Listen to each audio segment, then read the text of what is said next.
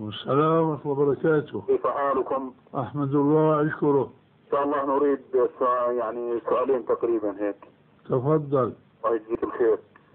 أولا آه، سؤال ما هي نصيحتكم لطالب الحديث المبتدئ في التخريج؟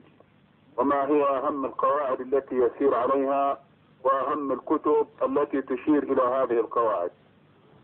لا يمكن الجواب عن هذا السؤال آه. يعني الوقت يسمح؟ اقرأ كتب المصطلح.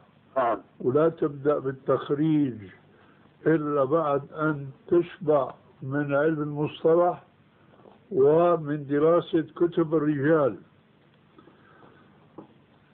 ولا تشتغل بالتخريج لأن من الحكم نعم. من استعجل الشيء قبل أوانه ابتلي بحرمانه.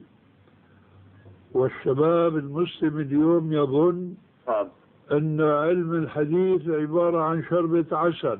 نعم بينما لو كان كذلك ما مضى على المسلمين قرون طويلة نعم. يشتغلون بكل علوم الشرعية إلا علم الحديث.